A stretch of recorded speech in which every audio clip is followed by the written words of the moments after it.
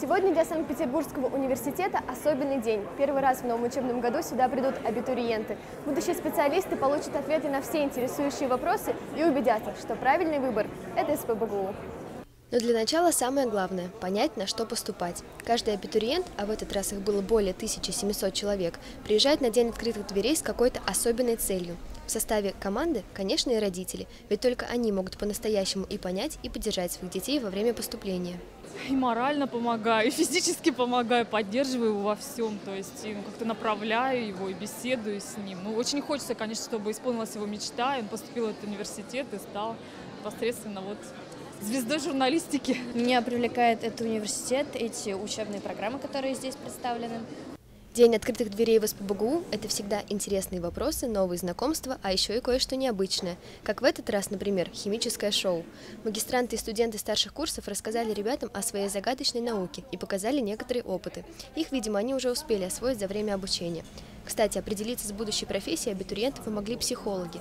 У ребят была возможность пройти специальные тесты, узнать что-то новое о своих личностных качествах и получить консультацию специалистов. Была замечена следующая тенденция. Конечно, тут вот э, очень сложно э, спорить, что девушки у нас более эмоционально направлены, юноши более социально, вот как-то, да, вот на статус социальный направлены. Это одно. А второе, это то, что девушки, конечно, в большей мере гуманитарии, Получить ответы на все вопросы абитуриенты и их родители смогли во время выступления начальника управления по организации приема Александра Бабича.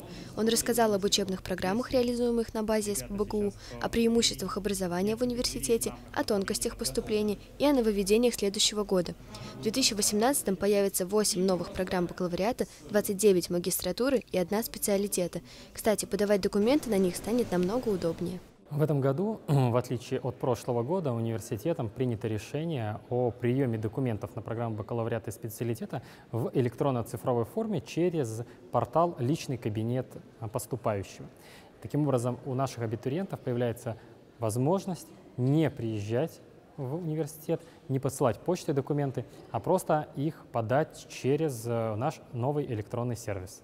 И поступить в университет сегодня стало гораздо проще. Существуют специальные онлайн-курсы, летние школы, лекции, мастер-классы и многое другое, что помогает поступающим получать еще больше необходимых знаний и уже точно определяться с выбором будущей профессии.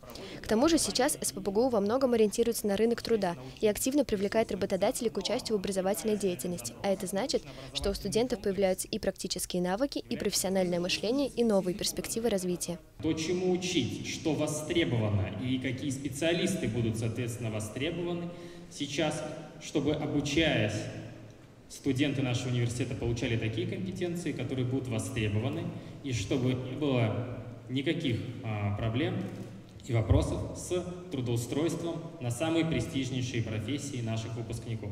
И, наконец, немного о самом поступлении. Документы можно будет подать в пять вузов на три направления подготовки. Причем, если есть желание попробовать поступить как на бюджетную, так и на платную основу обучения, то можно выбрать оба варианта, и это будет считаться как одно направление. Личные достижения максимально смогут составить 10 баллов. За золотую медаль предполагается 3 балла, за значок ГТО – 1. Волонтерство и результаты итогового сочинения никаких привилегий не дадут, зато, как всегда, очень важны Олимпиады, ведь участие, а тем более победа в них – залог успешного поступления. Александра Сидоркина, Евгений Горяев, телеканал «Мост».